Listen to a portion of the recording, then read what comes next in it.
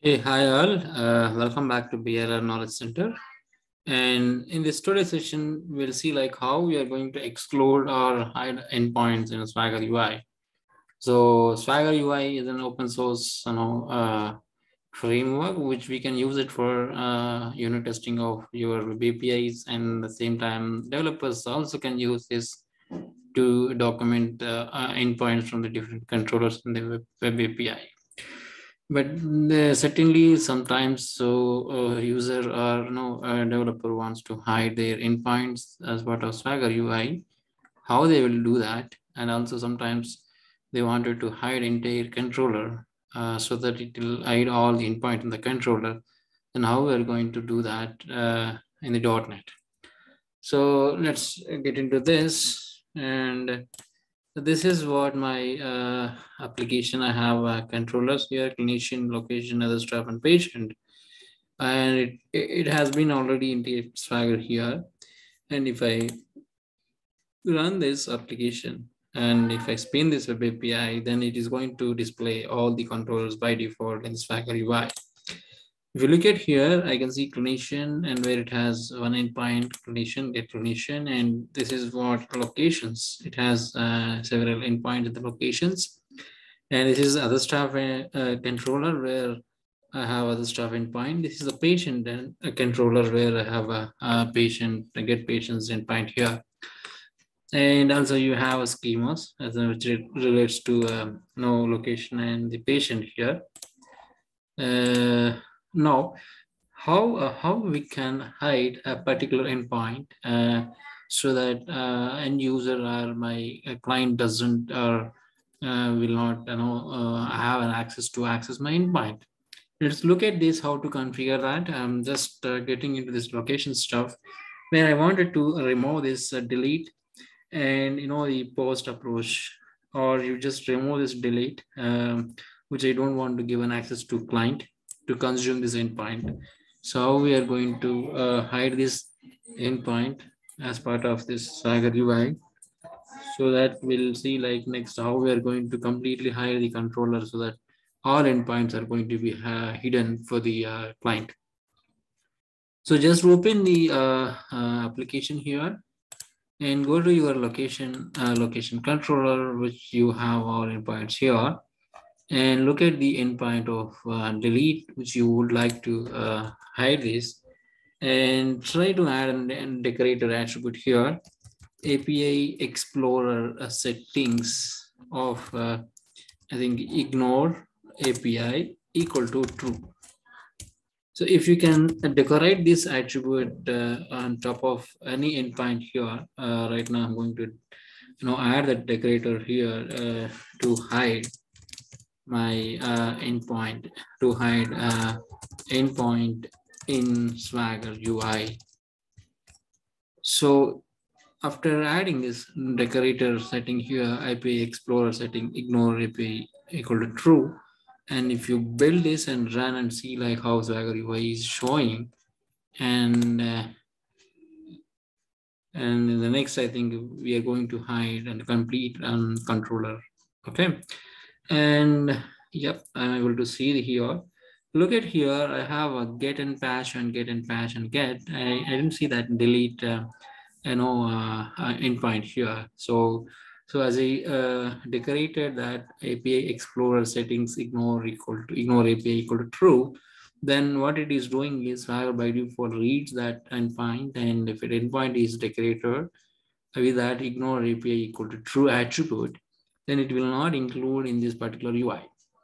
That's why I think we can uh, restrict the end user or the client to uh, does not look at the endpoint or even uh, you never see that. And by that, uh, in a similar way, I think you can stop that. Uh, if the decorator being added to your endpoint, then you will stop it uh, as part of token authentication or other no filter actions execution process. Now, going back to our code, and see that how I'm going to completely hide this completed stuff here. Why? Because the Swagger is running in the root level, but not at the individual model level. Once you create a Swagger for any API, and you, once you deploy it in your production server, And what are other APIs are already existing that uh, production server? All the endpoints are coming and showing on this UI by default. That's what the behavior of Swagger. Once Swagger is integrated to any API, that a Swagger is going to come from the root path of your base address. Then you look at uh, if any other API is having a Swagger, and having any controller, and then all the controls will get and fetch and show here and list out here. But if, in that case, uh, I don't want to expose my, you know, one of the uh, endpoint or one of the controller to the end user, then you better uh, choose this setting and keep it marked uh, on top of your endpoint. Now, I wanted to hide a complete location uh, controller here, how we're going to achieve this. So further, what you need to do, what you need to do is you go to top here and on top of class, you add the attribute API explore settings of, you know, ignore uh, API equal to true so that it will apply to all endpoints of this location controller. And you just run this and see like how it is affecting this Swagger UI. And then you will get an easy uh, coding point here to hide any endpoint or complete controller. Look at here, I only have three now, and I uh, didn't see that location controller here. So I have only like clinician, I have other stuff, and I have patient, but I, uh, I, I didn't have uh, no the location control stuff here. So what I did was, uh, even if you look at here, schema also showing weather forecast, but not the location, because the controller uh, marked as you know ignore API equal true. Then what it will do is it will completely hide the um, location controller endpoint and also the uh, schema definition for the location. So if I remove this again, going back, and I'll just hide uh, clinician. I'll add same uh, setting here, API, API Explorer of ignore uh, API equal to true. Now see, let's see like how it is appearing in the Swagger UI. So if you go and see uh, on that uh, Swagger UI here, so by default it shows locations instead of a patient, right? I mean uh, and then other staff and then patient. Now here see uh, schema also added back.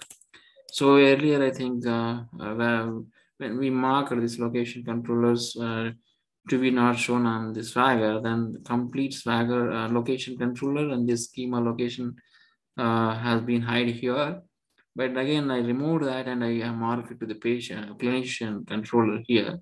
Hence, only clinician stuff is uh, you know hidden in the Swagger, and other controllers are still showing in the Swagger UI.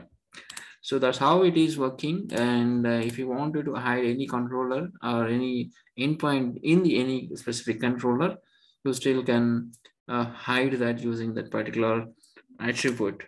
So I hope you understand the concept of hiding any endpoint or any uh, controller so that it will hide all endpoints and also the relevant schemas and uh, showing in the UI of Swagger.